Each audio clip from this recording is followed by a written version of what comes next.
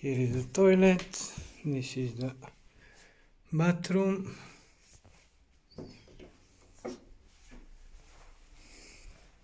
Here there is space to put something eventually and this is the room. This wardrobe is uh, available. I'm using this but we'll move it into my room. And this coach can be.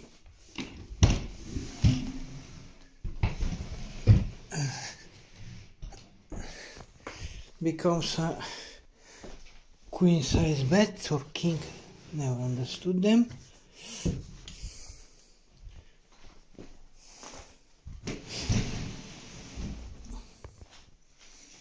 Table that's my room.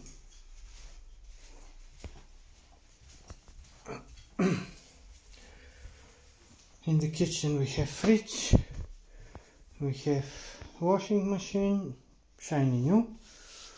And uh, I have use only multi cooker and NutriBullet a chopper. And because basically I mainly boil and that's it. Ah this uh, balcony I technically don't use. There is another fridge that I don't use can be available. And basically that's it